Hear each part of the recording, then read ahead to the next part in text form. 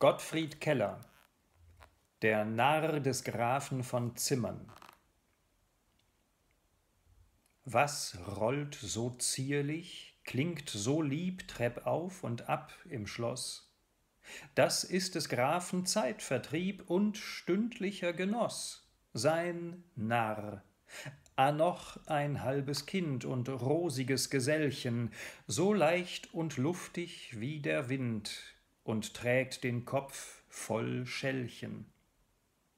Noch ohne Arg wie ohne Bart, an Possen reich genug, ist doch der Fand von guter Art und in der Torheit klug.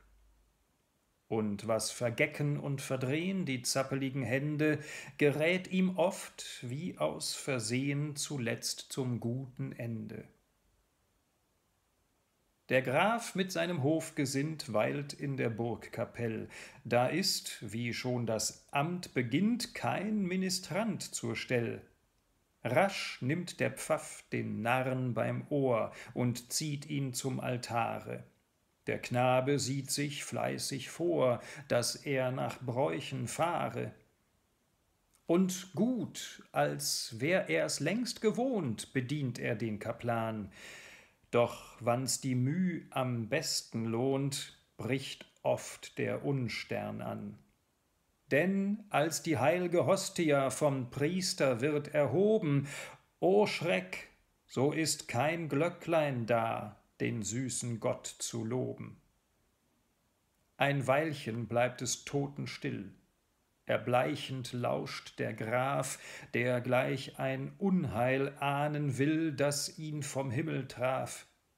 Doch schon hat sich der Narr bedacht, den Handel zu versöhnen. Die Kappe schüttelt er mit Macht, dass alle Glöcklein tönen. Da strahlt von dem Ziborium ein goldnes Leuchten aus. Es glänzt und duftet um und um im kleinen Gotteshaus, wie wenn des Himmels Majestät in frischen Veilchen läge. Der Herr, der durch die Wandlung geht, er lächelt auf dem Wege.